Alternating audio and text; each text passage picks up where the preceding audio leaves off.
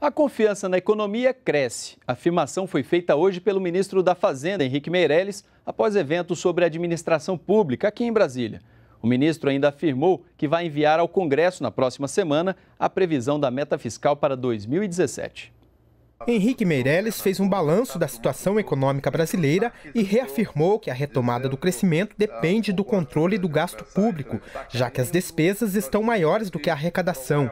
Para Meirelles, uma das soluções para equilibrar esta conta é a aprovação da PEC que estabelece um teto para os gastos públicos. A proposta de emenda condicional que limita o crescimento eh, dos gastos públicos para os próximos anos à inflação, ao contrário do que aconteceu durante muitos anos, que teve um crescimento muito acima da inflação das despesas públicas, então tudo isso vai fazer com que é, todo esse quadro então comece a ser revertido e o Brasil volte a ter saldos primários suficientes, não só para pagar os juros e também para amortizar a dívida.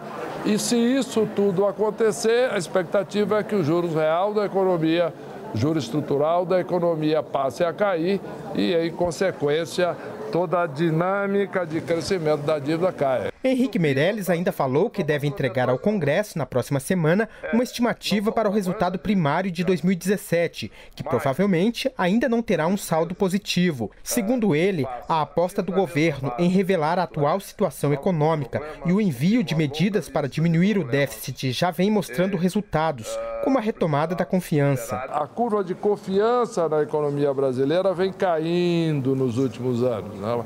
A população, empreendedores, eh, todos os consumidores estão cada, estavam cada dia menos confiantes e isso tem um impacto direto na economia.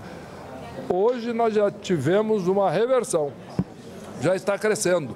E isso é muito importante. Isso mostra que estamos na direção certa, vamos persistir e temos segurança que com isso, no devido tempo, a economia vai voltar a crescer.